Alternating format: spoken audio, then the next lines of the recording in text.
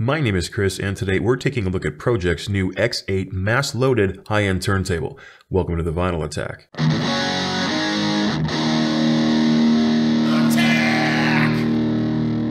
Ask anyone who's not an audiophile or music nerd, and they'll tell you that the thought of spending $500 on a turntable seems absurd to them.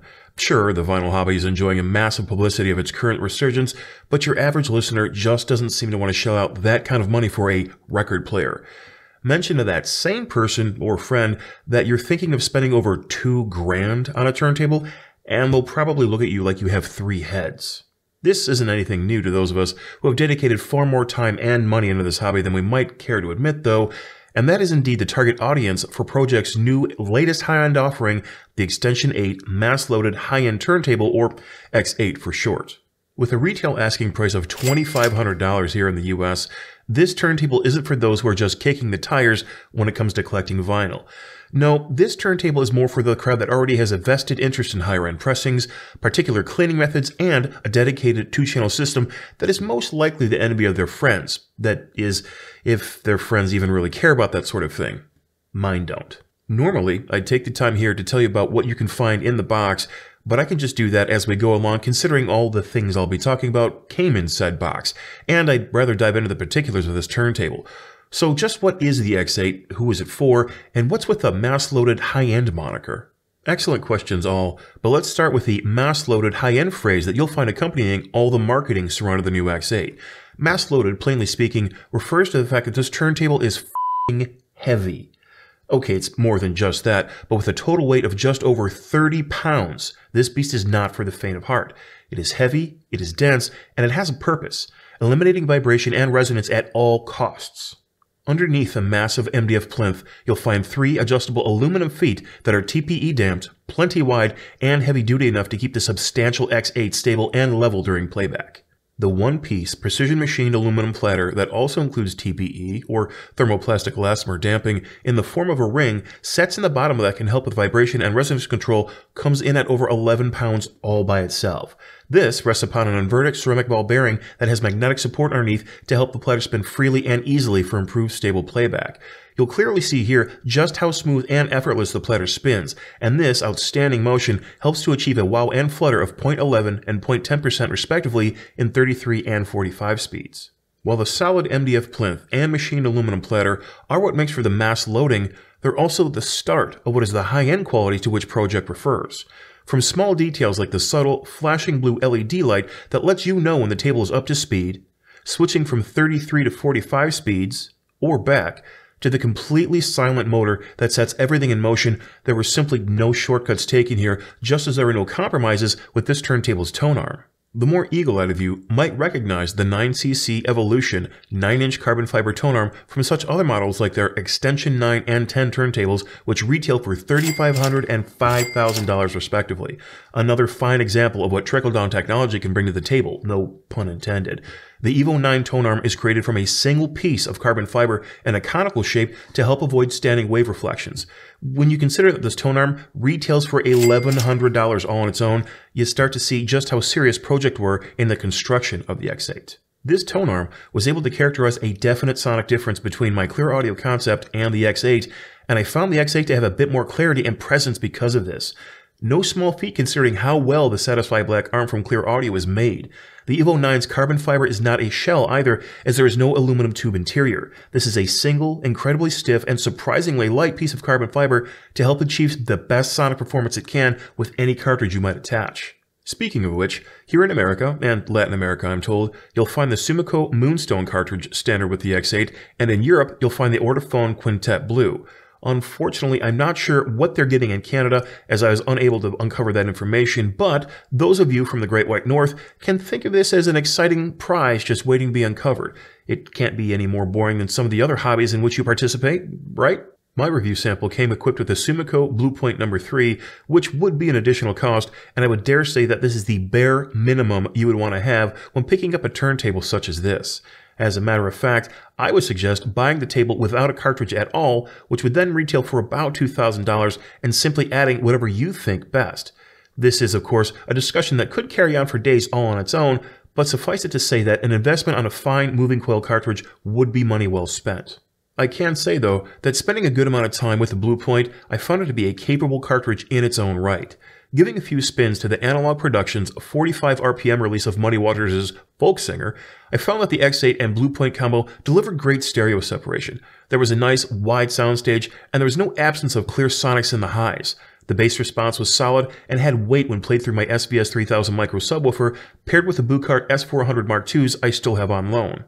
Subtle details were clear with this pressing, such as string noise, muddy slide moving up and down the neck and occasionally hitting the frets, and subtle plucks of the guitar strings. His vocals felt accurate and had enough depth to make him sound convincing. With My Conception from jazz pianist Sonny Clark, as released on the Blue Notes Tone Poet series, I found that the Blue Point portrayed horns with a bright and lively sense, and there was a nice balance between the lows of the acoustic bass and the sharpness of the horns. There was a minor distortion in the trumpet on the third song of side 2, which is the title track, that I didn't get anywhere else with my time on the turntable, but it may very well have been the pressing. I'll have to dig deeper into that once I put my own personal turntable back into the mix. Lastly, I put on a copy of Santana's Abraxas that I found somewhere along the line of my record collecting journey. Even though it wasn't a fancy copy of the album, the imaging was still prevalent with a very strong showing in the vocal department. The bass was authoritative, if not a little booming, but the album on the whole had a very smooth and even performance. Small instruments like chimes and strings had sparkle, even if they were a little thin up top, but again, this could very well be the pressing that I had. Something Bob Ross would call a happy accident came to pass when playing Abraxas, as the Evo 9 tone arm made excellent use of its inverted bearing, arm bearing, and anti-skating counterweight to keep the Bluepoint tracking accurately in spite of the moderately warped pressing I received. Through all the ups and downs, the sound never fluttered nor faltered, and the well-earned reputation of the Evo 9 tone arm was on clear display. Another one of the quality features on the Evo 9 is its 5-pin DIN connection. Unlike the regular 4-wire connection commonly found on other tone arms, the Evo 9 has a fifth wire that grounds it as well. This ground certainly played a role in the improved sound I heard, as it helps eliminate noise, making for a more rich and clear playback experience. It also opens up the option to connect a balanced line to a phono preamplifier that can handle it, such as the Pro-Ject PhonoBox S3B, which retails for about $499 and will also be reviewed here shortly. Unfortunately, I was unable to take advantage of this connection while I had the X8 in my possession. But even without hearing this particular improved sonic performance, I would still feel confident in recommending it due in part to my experience with balanced output phono stages in the past. If you haven't had the opportunity to hear a balanced phono stage before, I would highly recommend making it a priority. The sonic differences truly are night and day, and it's certainly worth the financial upcharge you will generally encounter. Much to my surprise, Pro-Ject included a power adapter with a cord that was long enough to be functional as well. While I would certainly recommend looking at an aftermarket power supply with a table this nice, it's refreshing to see something that is more usable in the box instead of their standard 4-foot cables. You'll also find a hinged dust cover at no additional cost, which I probably don't have to tell you is a nice change of pace. I find it eternally frustrating that other manufacturers consistently charge separately for a dust cover to protect your investment. The available finishes are another feature worth mentioning. Coming in a high gloss black, high gloss white, and real wood walnut veneer, you'll have an option for a finish that will most certainly fit any taste or design style. The deep, rich gloss black on the sample unit I received was incredibly well done, smooth, and looks great from every angle, even if it was a little dust prone. But for all the high-end features and quality construction, what did I find with the X8 that I didn't care for as much? As you might imagine, not very much. Keeping in mind that these caveats may be of little to no consequence to you, and certainly not deal-breaking measures for me, I must say that I wasn't overly fond of the belt found on the X8. While there was never any issue with speed control or noise, I have indeed seen belts like this that seem to have a melted butt joint come apart after moderate use. On the plus side, they are inexpensive and readily available should you need to replace them. The next item has more to do with ergonomics than actual function.